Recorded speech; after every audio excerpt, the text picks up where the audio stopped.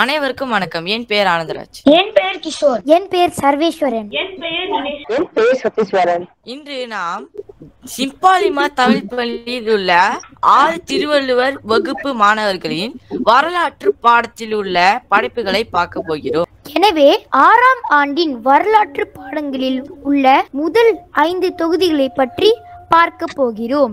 எனவே இப்பொழுது நாம் முதலான ஆளுகை பார்க்க போகிறோம். அதுதான் மலேசியா உருவாக்கம். மலேசியா உருவாக்க சிந்தனையும் காரணங்களும். மலேசியா உருவாக்க சிந்தனை. ஆ மலேசிய உருவாக்க சிந்தனை உள்ளூர் தலைவர்களும் பிரிட்டிஷாரையும் உள்ளடக்கியது. ஆயிரத்தி எட்நூத்தி எண்பத்தி ஏழாம் ஆண்டில் வட போர்னியோ பிரிட்டிஷ் நிறுவனத்தின் இயக்குனர் லார்ட் பிரம்சே மலேசியா உருவாக்க தொடக்க சிந்தனையை பரிந்துரைத்துள்ளார். அவர் சரவாக் சபா மலாய் மாநிலங்கள் தொடுவாய் குடியேற்ற மாநிலங்கள் ஆகியவற்றை ஒருங்கிணை பரிந்துரை செய்தார். ஆயிரத்தி தொள்ளாயிரத்து ஐம்பத்தி ஐந்தாம் ஆண்டு கூட்டரசு மலாயாவின் முதலமைச்சர் துங்கு அப்துல் ரஹ்மான் புத்ரா அஸ்டாட் இந்த இணைப்புக்கான சிந்தனையை முன்வைத்தார். அவர் சிங்கப்பூர் சராவா சபா புருணை ஆகியவை கூட்டரசு மலாயாவில் இணைய பரிந்துரைத்தார். ஆயிரத்தி தொள்ளாயிரத்தி முப்பத்தி எட்டாம் ஆண்டு உள்ளூர் தலைவர்களான இப்ராஹிம் ஹஜி யாக்கோப் ஹருண் அமினா அமினு ராஷித் ஆகியோர் மெலாயு ராயா எனும் கருத்தருவில் இந்த இணைப்பு சிந்தனைக்கு போராடினர். ஆயிரத்தி தொ- தொள்ளாயிரத்தி ஐம்பத்து ஒன்றாம் ஆண்டு தென்கிழக்கு ஆசியாவின் பிரிட்டிஷ் தலைமை ஆளுநர் ஜெர்- ஜெனரல் மெல்கோம் மெக்டோனாஸ் இந்த சிந்தனையை கொண்டிருந்தார். இவ்விணைப்பு தொடர்பாக அவர் கூட்டரசு மலாயா சரவாக் சபா சிங்கப்பூர் தலைவர்களிடையே பல கலந்துரையாடல்களை மேற்கொண்டார். மலேசிய உருவாக்க காரணங்கள். மலேசிய உருவாக்கத்திற்கு பல்வேறு காரணங்கள் உள்ளன. நாட்டின் பாதுகாப்பை உறுதி செய்தல் இனங்களுக்கு இடையே சமநிலைப்படுத்துதல் சுதந்திரத்தை விரை- விரைவுபடுத்துதல் சமூக பொருளாதாரத்தை மேம்படுத்துதல் ஆகியன அவற்றுள் அடங்கும். நாட்டின் பாதுகாப்பை உறுதி செய்தல். சிங்கப்பூர் எதிர்நோக்கிய காம்யூனிஸ்ட் அச்சுறுத்தல். கூட்டரசு மலாயின் பாதுகாப்பு நிலைக்குலைய செய்யும். சிங்கப்பூரை தவிர்த்து சரவாக்கும் காய் காம்யூனிஸ்ட் அச்சுறுத்தலை எதிர்நோக்கியது. கம்யூனிஸ்ட் அச்சுறுத்தலை மலேசிய உருவாக்கத்தின் வாயிலாக தடுக்க இயலும் கூட்டரசு கம்யூனிஸ்ட் அச்சுறுத்தலை எதிர்நோக்கிய அனுபவத்தை கொண்டுள்ளது. இனங்களுக்கிடையே சமநிலைப்படுத்துதல். கூட்டரசு மலையாவுடன் சிங்கப்பூரை மட்டுமே இணைப்பது இனங்களுக்கிடையே சமநிலையற்ற நிலையை உருவாக்கும். கூட்டரசு மலையாவுடன் சரவா சபா குருணை ஆகியவற்றை இணைப்பதன் வாயிலாக இனங்களுக்கிடையிலான மக்கள் எண்ணிக்கையை சமநிலைப்படுத்த இயலும். சுதந்திரத்தை விரைவுபடுத்துதல். மலேசிய உருவாக்கம் அடிப்படை வசதி சமூகம் பொருளாதாரம் ஆகியவற்றின் மேம்பாட்டை விரைவுபடுத்தும். இதற்கு அனைத்து தரப்பினரின் ஒருமைப்பாடும் ஆதரவும் தேவை. இனங்களுக்கு இடையே சமநிலைப்படுத்துதல். மலேசிய உருவாக்கம் அடிப்படை வசதி சமூகம் பொருளாதாரம் ஆகியவற்றின் மே மேம்பாட்டை விரைவுபடுத்தும். இந்த இணைப்பு நம் நாட்டு மக்களின் வாழ்க்கையை வாழ்க்கை தரத்தை உயர்த்தும்.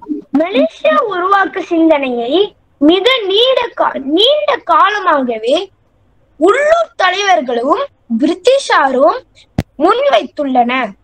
அக்கால சூழலும் சவாலும் இச்சிந்தனையை தோன்றியதற்கான காரணங்களாகும். எனவே இச்சிந்தனையை தூண்டிய தலைவர்களின் விவேகத்தையும் சேவையையும் நான் போற்ற வேண்டும். மலேசிய உருவாக்கத்தை நோக்கிய படிமுறைகள்.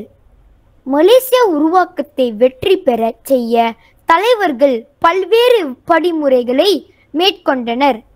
இதில் உள்ளடங்கிய மாநிலங்களுக்கு வருகை மேற்கொள்ளுதல் செத்திய காவான் மலேசிய செயற்குழுவை Jawatan Kuasa சத்யா காவான் மலேசிய ஜிஎஸ்கேஎம் அமைத்தல் கோபோல்ட் ஆணையம் அமைத்தல் கருத்து வாக்கெடுப்பு மேற்கொள்ளுதல்.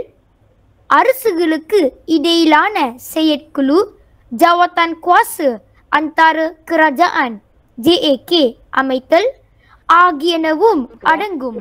துல்கு அப்துல் ரஹ்மான் மலேசியா உருவாக்க பரிந்துரையை சிங்கப்பூர் அடல்பி விடுதியில் அறிவித்தார்.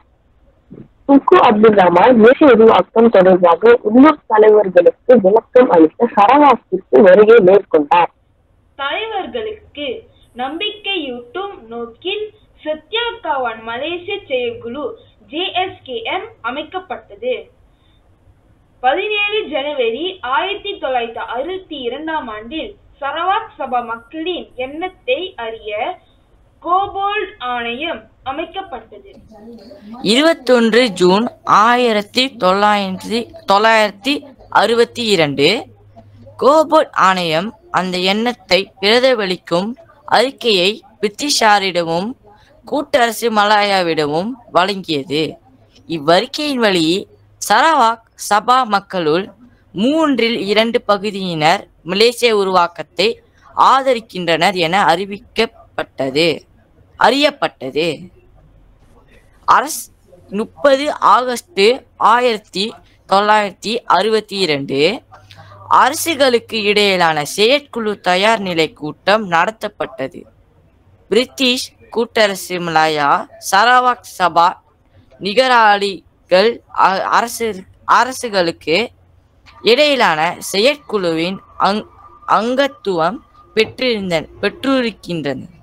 இச்செயற்குழு சரவாக் சபா நன் நலன்களை காக்கும் சட்டத்தை வடிவமைக்கும் நோக்கில் அமைக்கப்பட்டது. ஒன்று செப்டம்பர் ஆயிரத்தி தொள்ளாயிரத்தி அறுபத்தி ரெண்டு அறுபத்தி ரெண்டாம் ஆண்டில் கூட்டரசு மலாயாவுக்கும் சிங்கப்பூருக்கும் இடையே பேச்சுவார்த்தை நடத்தப்பட்டது. இதன் வழி வாக்கெடுப்பு அதாவது டிஃபரண்டம் சிங்கப்பூரில் நடத்தப்பட்டது. இந்த கருத்து வாக்கெடுப்பு மூலம் சிங்கப்பூர் மக்கள் மலேசியா உருவாக்கத்திற்கு ஒப்புக்கொண்டன என அறியப்பட்டது. ஒன்பது ஜூலை ஆயிரத்தி தொள்ளாயிரத்தி அறுபத்தி மூன்றாம் ஆண்டில் மலேசியா உடன்படிக்கை லண்டன் மால்புரோ இல்லத்தில் கையெழுத்து கையெழுத்திட்டப்பட்டது. பாண்டாம் ஆகஸ்ட் ஆயிரத்தி தொள்ளாயிரத்தி அறுபத்தி மூன்றாம் ஆண்டில் சரவாக் சபா மக்களின் ஒப்புதலை உறுதிப்படுத்தும் வகையில் மலேசிய பணிக்குழுவை யுஎன்எம்எம் தோற்றுவித்தது. பதினாறாம் செப்டம்பர் ஆயிரத்தி தொள்ளாயிரத்தி அறுபத்தி மூன்றாம் ஆண்டில் Kuala Lumpur Kuching Sarawak Kota Kinabalu Sabah சிங்கப்பூரிலுள்ள நகர மண்டபம் ஆகியவற்றில் மலேசிய பிரகடனம் பிரகடனப்படுத்தப்பட்டது.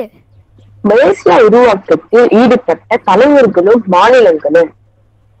தலைவர் தலைவர்களுக்கு இடையிலான ஒருமைப்பாடு மலேசியா உருவாக்கத்தின் வெற்றி சுடராக அமைந்தது.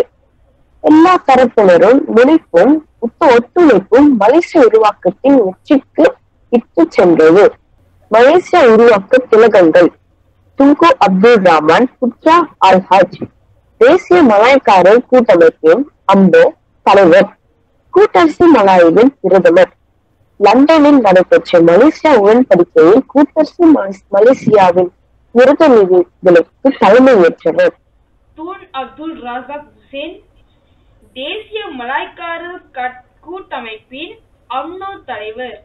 கூட்டரசு மலையாவின் துணை பிரதமர் மற்றும் அரசுகளுக்கு இடையிலான செயற்குழுவில் அதாவது ஜேஏகே பங்காற்றியவர். துன் தமங்கும் ஜுகா அனாத் பரியங்.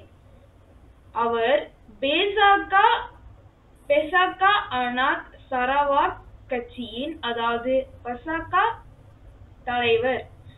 சத்யா காவான் மலேசிய செயற்குழுவில் ஜேஎஸ்கேஎம் உருபியம் வகித்தவர். ஆயிரத்தி தொள்ளாயிரத்தி அறுபத்தி மூன்றாம் ஆண்டு லண்டனில் நடைபெற்ற மலேசிய உடன்படிக்கையில் கையெழுத்தி கையெழுத்திட்டவர்களுள் ஒருவர். Tun Datu Mustapha Datu Harun. Sabah தேசிய கூட்டமைப்பின் யுஎஸ்என்ஓ தலைவர் அஸ்னோ தலைவர். சபா மக்களுக்கு விலேசிய உருவாக்கம் தொடர்பான விளக்கம் அளித்தவர் லீ குவான் யூ மக்கள் செயல் கட்சிகளின் பிஏபி தலைவர். சிங்கப்பூரில் கம்யூ கம்யூனிஸ்ட் சித்தாந்தத்தை முடக்குவதற்காக மலேசிய உருவாக்க சிந்தனைக்கு ஆதரவு அளித்தவர். தான் Sri Dato Amar Stephen Kalong Ningkan. Sarawak தேசிய கட்சியின் எஸ்என்ஏபி தலைவர். சரவாக் கூட்டணி உருவாக்கத்தில் முக்கிய பங்காற்றியதோடு மலேசிய உருவாக்க முயற்சியை ஆதரித்தவர். அடுத்ததாக Donald Stephen Tun Muhammad Fuad Stephen. தேசிய காடசன் கூட்டமைப்பின் யுஎன்கேஓ தலைவர். மேலும் அவர் மலேசிய உருவாக்கத்தை வெற்றி பெற செய்ய சத்யா காவான் மலேசியா. செயற்குழுவை ஜேஎஸ்கேஎம் அமைக்க முன்மொழித்தவர் முன்மொழிந்தவர். தத்தோ பண்டார் அபாங் ஹஜி முஸ்தபா. இவர் பார்ட்டி நகாரா சராவா பானாஸ் எனும் ஒரு கூட்டமைப்பின் தலைவர். மலேசியா உருவாக்கத்தை ஆதரித்தவர். ஆயிரத்தி தொள்ளாயிரத்து அறுபத்தி மூன்றாம் ஆண்டு லண்டனில் மலேசியா உடன்படிக்கையில் கையெழுத்திட்டு கையெழுத்திட்டவர்களுள் ஒருவர். டூட் முகமது கஜாலி ஷஃபி. தேசிய மலைக்காரர் கூட்டமைப்பின் அம்னோ தலைவர். கோபால்ட் ஆணையத்தின் உறுப்பியம் வகித்தவர். வெளியுறவு அமைச்சின் நிரந்தர தலைமை செயலாளராக பதவி வகித்த போது மலேசிய உருவாக்கத்தில் முக்கிய பங்காற்றியவர். அடுத்ததாக தன் ஸ்ரீ வோங் பவுனி இவர் மலேசிய சீனர் சங்கத்தின் எம்சிஏ தலைவர். கோபோல்ட் ஆணையத்தின் கூட்டரசு மலாயா நிகராலி மலேசிய உருவாக்கம் தொடர்பாக சரவா சபா மக்களை நேர்காணல் செய்து கோரிக்கை மனுவை ஆய்ந்தவர். Tun V T Sambanthan. இவர் மலேசிய இந்தியர் காங்கிரசின் எம்ஐசி தலைவர். கூட்டரசு மலாயா அமைச்சரவை குழுவோடு சேர்ந்து கோபோல்ட் ஆணைய திட்ட அறிக்கையை கருத்தூன்றி ஆய்ந்தவர்.